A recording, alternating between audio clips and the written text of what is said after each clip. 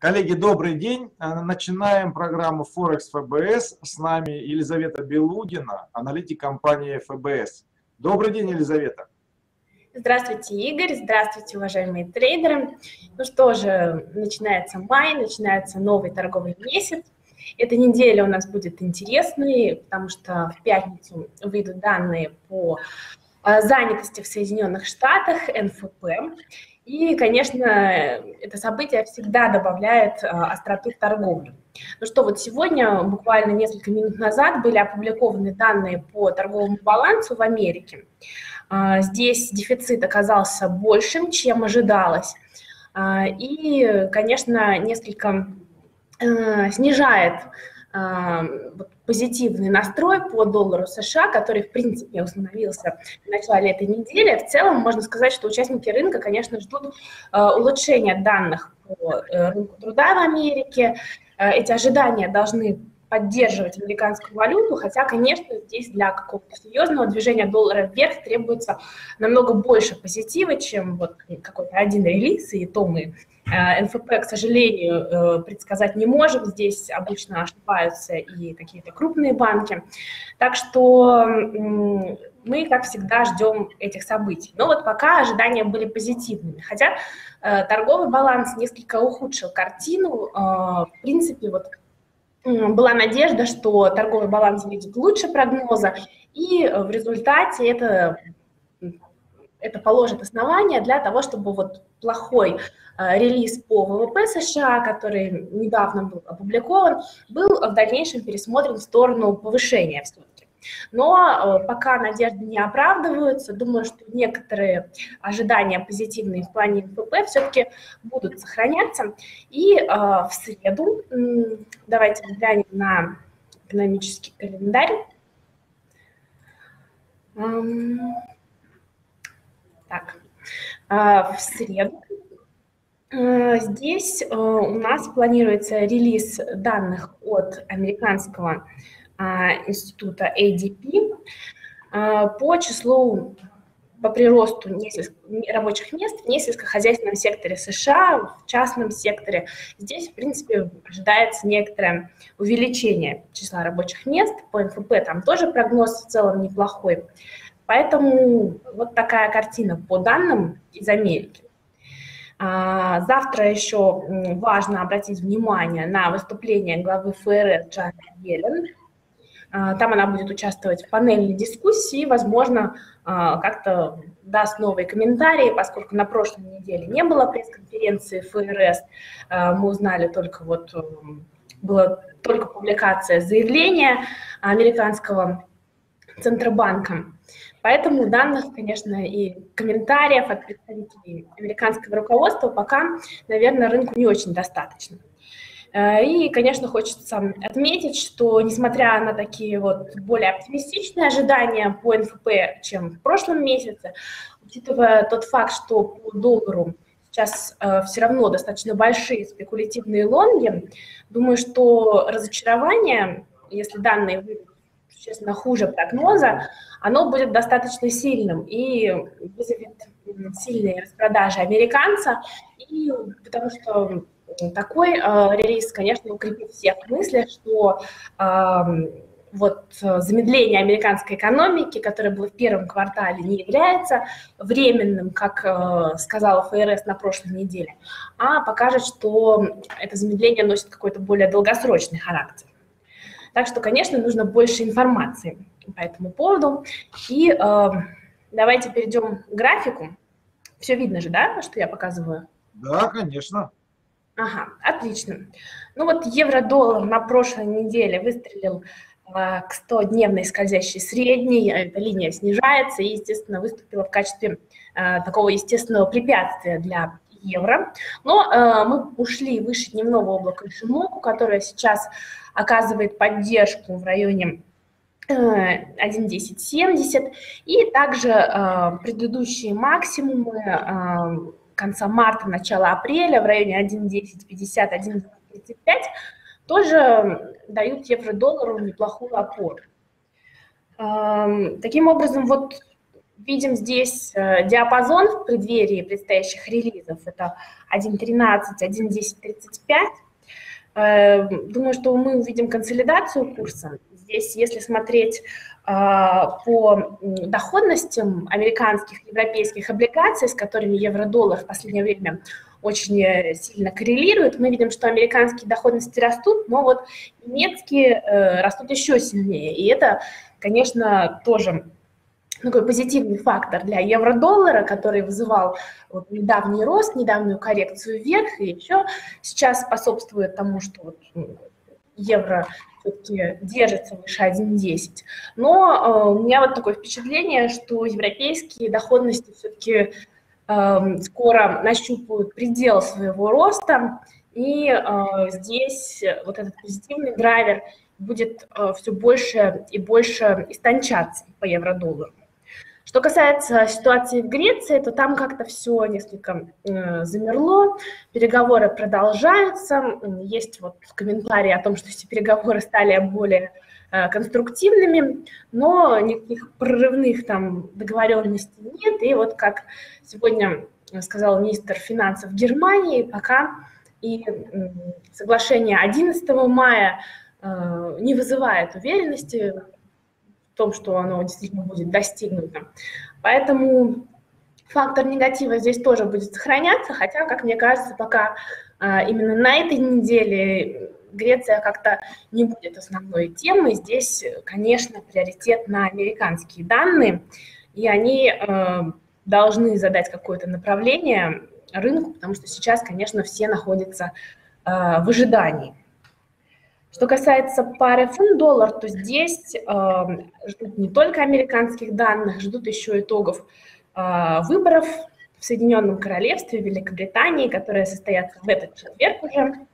Здесь, э, ну, как, наверное, все помнят, э, ни одна партия не обладает каким-то решающим преимуществом. Там консерваторы, правящая партия и лейбористы идут просто нос в нос. Э, у них практически одинаковые результаты, согласно опросам общественного мнения. Вот. Но партия, которая получит большинство мест в парламенте, получит возможность первой сформировать правительство. И, скорее всего, э, парламент, который получится, будет подвешенным, ни одна партия этого правительства сама сформировать не сможет, и есть такая вот неопределенность, которая негативно сказывается на курсе фунта. Ну вот мы видим, что несмотря на эту неопределенность, на прошлой неделе фунт очень-очень неплохо рос, выстрелил в район 1,55, так что э, думаю, что это является таким показателем того, что вероятность вот этого подвешенного парламента и долгого формирования правительства уже, в принципе, в курсе фунт доллара учтена. То есть фактор этот каком-то степени рынком отыгран. Здесь э, исход выборов может быть, наверное, три таких основных исхода. Если победят консерваторы и вот их эм, союзники, либеральные демократы, там получат достаточно мест, то думаю, что мы увидим хорошую реакцию по фунту, а, выстрела в район э, 200-дневной скользящей средней, это 1,56 70. А, потому что, в принципе, тогда как-то вот эти вот все политические политическая ситуация более-менее разрешится. Но, конечно, вероятность здесь э, большого преимущества консерваторов и их союзников не очень высокая. Если э, лейбористы и вот шотландские националисты э, как там больше мест заработают, то это, конечно, негативное давление на фунт, равно как и долгое формирование правительства тоже тут позитива все-таки не окажет. Но в целом, конечно, экономика Британии сейчас находится в нормальном состоянии. Здесь угрозы какого-то негатива в еврозоне тоже, в принципе, снизились по сравнению с выборами, которые были в Великобритании в 2010 году. Поэтому в целом, как мне кажется, э, достаточно стабильная будет торговля по фунту. Мы видим общий диапазон 1,55, 1,46. А, думаю, что здесь эм, все уровни поддержки будут достаточно важными. Сейчас это 1.50-50, 1.49-50. 1.48. Поэтому, конечно, думаю, что до четверга и до того, как мы узнаем о результатах выборов, все-таки здесь фонд будет серьезно ограничен, покупать его будут мало, но после выборов, возможно, стабилизация курса и вообще вот сильных распродаж я тут по фунту э, не жду. Ну вот данные, конечно, из Британии пока не радуют последние. Сегодняшний строительный PMI оказался слабым. А, в среду в Великобритании будет опубликован индекс деловой активности в сфере услуг. А, посмотрим, что они нам покажут. Но думаю, что вот э, на ближайшей торговой сессии Э, стоит ориентироваться на такое вот умеренное снижение британской валюты. Э, что касается доллар-иены, то здесь картина выглядит очень даже неплохо. Мы пробили э, вверх отметку, во-первых, 120 йен за доллар, во-вторых, линию сопротивления, которая проходит через максимумы апреля и марта, и в целом думаю, что есть неплохой задел для роста доллар-иены к следующему сопротивлению, это 120.85, и выше к 121.50, 121.80 и даже в сторону 122. Ну, конечно, вот американские данные должны дать такой стимул, но э, с точки зрения техники опора вроде как найдена. И действительно, а, думаю, что здесь вот как-то наиболее привлекательным для торговли сейчас выглядит эта пара. По австралийскому доллару, доллару США, сегодня с утра было событие, это заседание Резервного банка Австралии. Он сократил процентную ставку до рекордного минимума 2%, но, как мы видим, австралиец на дневном графике все равно вырос. Сейчас торгуется выше отметки вдоль 70 9. И такой рост австралийца связан, конечно, с тем, что э, такое решение Резервного банка Австралии было ожидаемым. Мы, в принципе, ожидали, что ставка будет действительно снижена.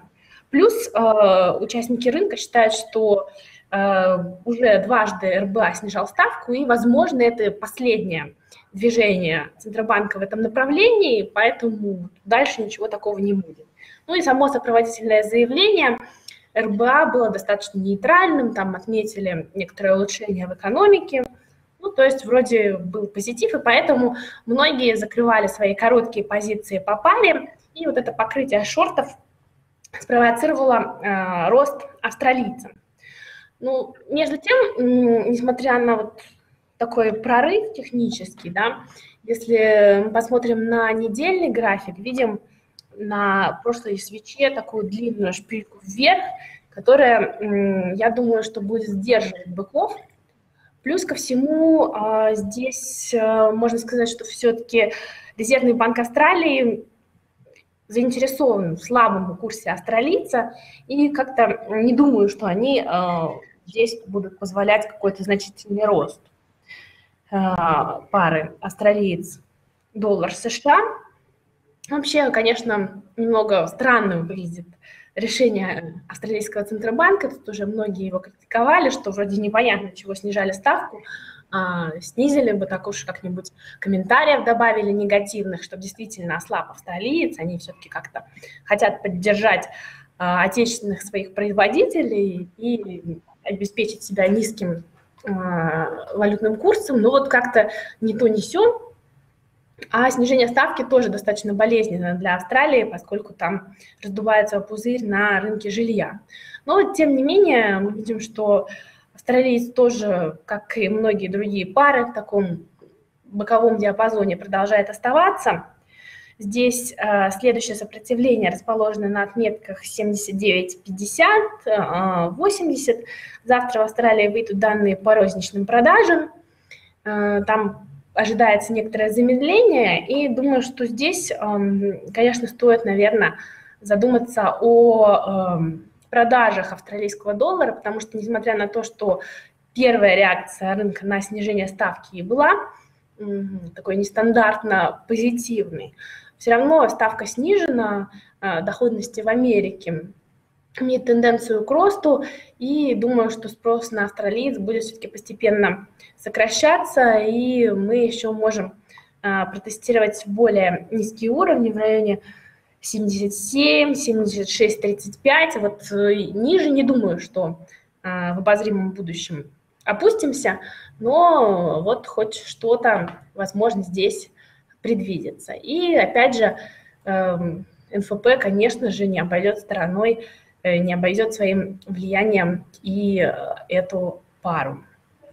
Вот, на этом, наверное, у меня все.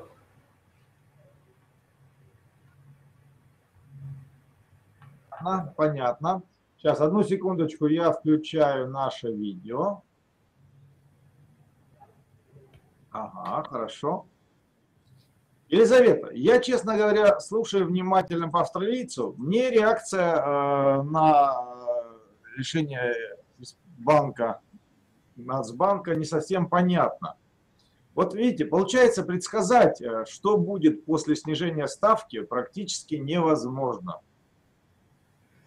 Ну, как сказать, в принципе, тут нужно действительно очень следить за настроем рынка, потому что вот какие-то взаимосвязи, которые расписаны в учебниках, снизили ставку, пошел вниз курс национальной валюты, не всегда работают, потому что сначала отыгрываются ожидания. Мы там, покупаем на слухах, продаем на фактах. Вот. Также произошло и в этом случае. Действительно, я думаю, здесь в большей степени сыграли роль какие-то крупные игроки, которые действительно шорты, которые у них были, закрыли. И вообще вот я сейчас э, так вот мониторю, да, что пишут в различных банках.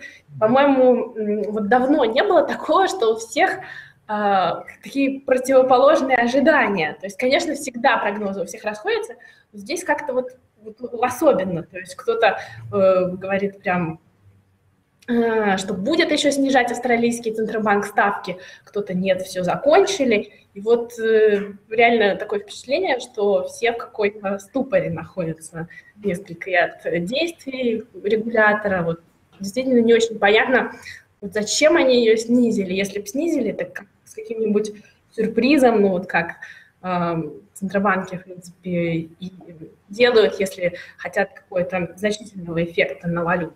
Сегодня сюрприза не было, но не было вот и такого негативного эффекта, не было резкого спада, наоборот, все закрылись, ну, оно и выросло. Вот. То есть, э, если Центробанк не сопровождает а, свои действия какими-нибудь а, словесными интервенциями, то это может привести к обратному результату, получается. Ну да, и тут тоже вот как-то все привыкли уже, все ждали, как-то э, сначала месяц назад, наверное, много было негатива по австралийцу, да, мы все ждали, когда там 0,75.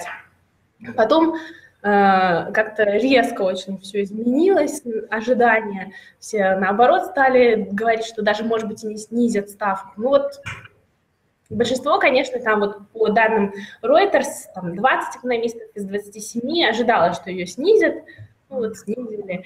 Но в целом все равно, конечно, австралийские ставки, они пока выше, чем ну, там, в других э, странах G10. Э, так что... Есть куда снижать еще. Ну, есть куда снижать, но вот э, не знаю, думаю, что, конечно, на ближайших заседаниях, наверное, останется все по-прежнему. Вот, но думаю, что здесь э, Центробанки типа Резервного банка Австралии будут уже ходить на второй план, в преддверии ФРС. Да. Вот на прошлой неделе было такое заседание без пресс-конференции, поэтому думаю, что здесь будет э, важно, когда публикуют протоколы этого заседания, потому что информации полной не было. Вот. В июне на заседании там будет пресс-конференция, и, конечно, там ждут каких-то более таких значимых движений от Федрезерва. Понятно. Ясненько, Елизавета. Спасибо вам большое. Очень интересно. Ну, мы также тогда будем надеяться, что в ближайшие месяцы э, Центробанк Австралии все-таки не будет никаких действий предпринимать дальнейших. Я все-таки почему-то к этой точке зрения, к этому лагерю склоняюсь. Вот. Но, конечно, посмотрим по ситуации. Ясненько. Спасибо огромное, удачи вам. Э, всем спасибо, до новых встреч. До, до свидания. До свидания.